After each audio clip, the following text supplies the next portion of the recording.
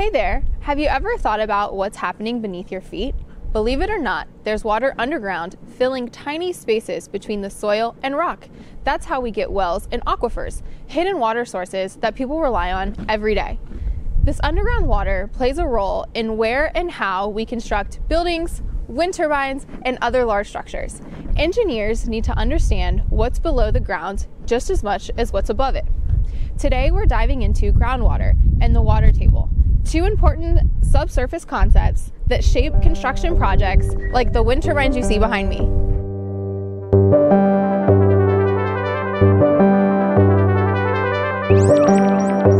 Below the Earth's surface, water fills the spaces between soil, sand, and rock. This hidden water is called groundwater. Believe it or not, some of the water that comes from your tap might have started as groundwater. It just gets cleaned and disinfected before we use it. So, where does groundwater come from? Groundwater from rain and melting snow that slowly soaks into the ground over time. In some cases, water from rivers and lakes can also seep down and add to groundwater supplies. But if all this water is underground, why doesn't it just rise to the surface? Well, the ground acts like a sponge, holding water in tiny spaces between soil, sand, and rock. This keeps the, the groundwater stored underground instead of flowing freely like a river or a lake. However, in some places, groundwater can still reach the surface naturally. This happens in springs where underground water finds a pathway through cracks in the rock and slowly flows out. It can also happen after heavy rain when so much water soaks into the ground that the upper layers become fully soaked, forcing extra water to overflow into the surface, causing flooding. But most of the time, groundwater stays trapped in the tiny spaces underground. Some underground areas hold a lot of water, almost like a giant underground sponge. This is called an aquifer. Aquifers store water and people pump it up through wells to use for drinking, farming, and even city water supplies. You might have seen a well before, a deep hole that lets us pull water from underground.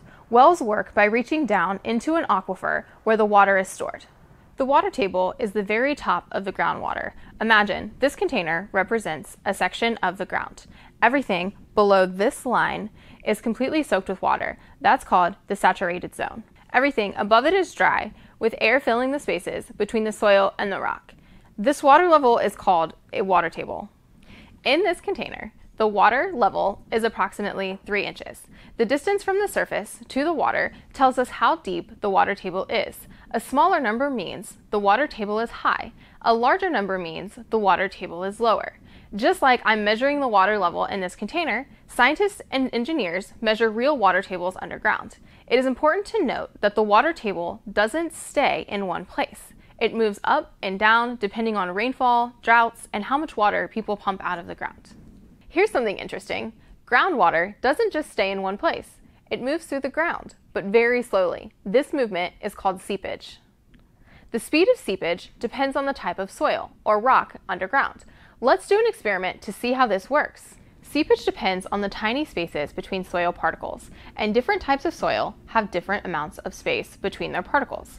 Let's see what happens when we pour water into two different materials, sand and clay. See how the water quickly moves through the sand but barely seeps through the clay? That's because sand has a high porosity, meaning it has lots of tiny spaces for water to flow through. For clay has low porosity, so it holds onto water instead of letting it seep through.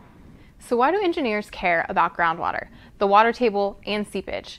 Because if they don't study what's happening underground before construction, things can go very wrong.